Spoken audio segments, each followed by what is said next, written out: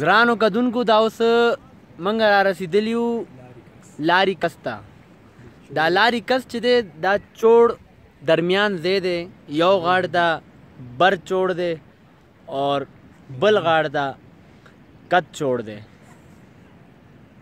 دا تاسو کتلی شئ دا دوم د خسته دی دی او دې لپاره موږ مسلسل تقریبا 8 غنټې پیدل دا غرونه ختلیو او کوشیو او ډیر زیات جدوجهد نه بعد دا جنت نظیر وادي ته داخل شیو دا تاسو کتلی شئ آ غاړه ته کته خړ خړ دی اور کته غټ خړ بېږي دلته غټې اوبه دي دلته اسپې چې دي هغه سریږي دلته واښه کوي بچي دي پکې سخت سرناک ځای دی دا که الله پاک تاسو له توفیق راکړو د دې غاړې ته لازمي یو چکر لګول پکار دي زندگی کې یو ځل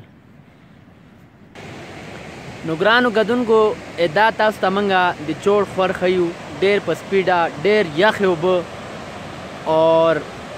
ډېر خوناک خور دی دا دا کته چوړ لارې ته روان دی اور دا بره چور غاړې نه راغل دی دا مزیدار خوړ دې کې سړی پورې کېدلی نشي منځ کې یو پل دی یو پل چې دی بر چور طرف ته دی یو پل چې دی کټ چور طرف ته دی دا ما تاسو ته د ټول ویډیو ما تاسو ته وښیله دا پوره سینري تاسو کتلی شئ